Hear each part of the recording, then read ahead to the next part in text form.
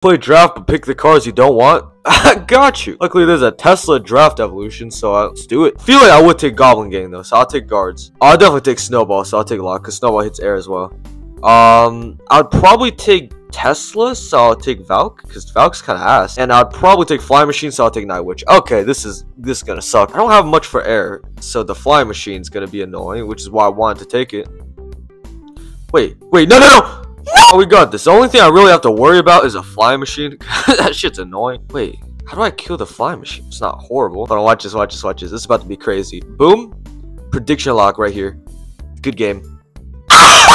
and it connected as well. He's done. It's actually all over. Okay, that's one log. And, um, how much does that do?